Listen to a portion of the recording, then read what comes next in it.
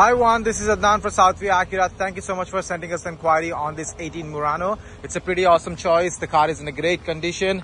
Just wanted to give you a quick walk around video so you can have a closer look. You do have a keyless entry, side cameras, tires and rims are in a great shape. Coming at the back, you have that Murano badging, SL all-wheel drive. You have a small hitch underneath. No dents or scratches. Let's check out the interior. Coming inside the cabin, you get that spacious back seats you have the infotainment system heated seats heated steering wheel. There's a lot more features i can talk about. The full panoramic sunroof at, at the uh, on top.